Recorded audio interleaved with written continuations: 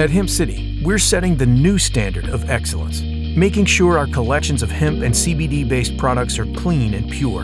From cultivation to distribution to customer education, we get it done. Hemp City,